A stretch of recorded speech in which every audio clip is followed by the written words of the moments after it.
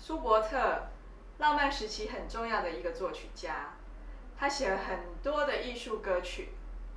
所以在他的其他的作品当中呢，你可以很清楚的听到旋律。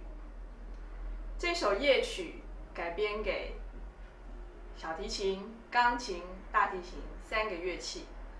旋律在这三个乐器当中交换着，你可以很清楚的听到。可以，你可以想象呢，在满天星空下，跟三两好友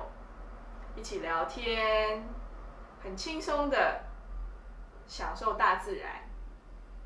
欣赏这样子一首美丽的夜曲。